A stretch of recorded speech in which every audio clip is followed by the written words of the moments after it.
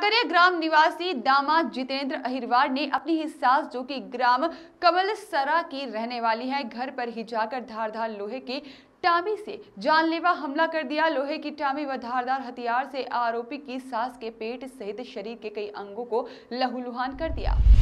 जिसका इलाज life line hospital Sarangpur में हुआ। सारंगपुर पुलिस ने फरियादी सास की रिपोर्ट पर आरोपी दामाद पर मामला पंजीबद्ध किया तो वही अपराधी दामाद मामला दर्ज होने के बाद भी सास और पत्नी को जान से खत्म कर देने के लिए धमका रहा है। बावजूद इसके कि आरोपी दामाद लगातार अपनी सास, पत्नी व साले को फ़ोन पर जान से खत्म कर देने की धमकी भी लगातार दे रहा है।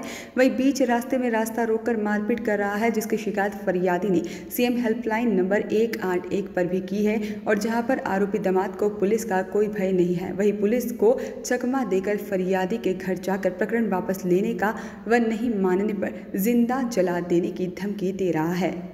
वॉइस ऑफ़ राइट्स के लिए सारंगपुर से दिलीप जाधव की रिपोर्ट।